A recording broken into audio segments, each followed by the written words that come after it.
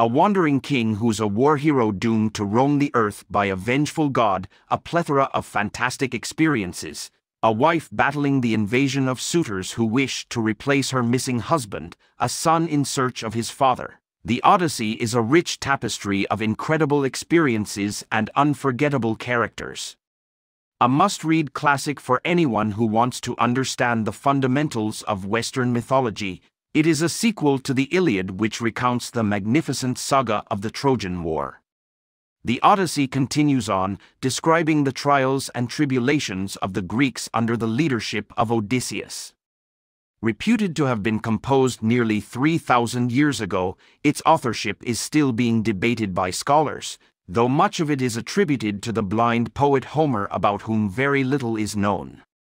Yet the Iliad and the Odyssey remain the definitive foundations of all Western literature. The Odyssey is a magnificent epic tale that portrays the journey called life. In fact, the word Odyssey in English itself has come to mean a long and eventful journey. In the preceding book, the Iliad, Odysseus, called Ulysses in Roman mythology, the king of Ithaca, gets embroiled in the Trojan War through the trickery of the Greeks. But once inside, his wonderful qualities of intellect, strategy and leadership come to the foreground as he leads his soldiers to victory.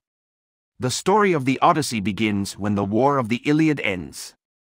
Odysseus and his men embark to return to Ithaca, but his sworn enemy, the sea god Poseidon, stymies him at every turn, sending storms and foul weather, forcing the wanderers to take shelter in strange and sinister lands. The Odyssey is, besides the story of Odysseus' beautiful wife Penelope, whose life becomes a struggle, fighting off the innumerable hopefuls who wish to take over her kingdom and her fortune in the absence of her husband. It is also the poignant growing up tale of Telemachus, a faithful and steadfast son, who refuses to believe that his father won't return. There are many notable translations from the original Greek and it has also been extensively portrayed in art, literature and television in languages around the world.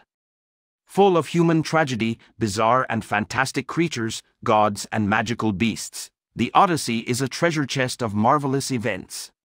For modern-day readers, young and old alike, it provides exciting, interesting and relevant ideas of war, politics, exile and identity.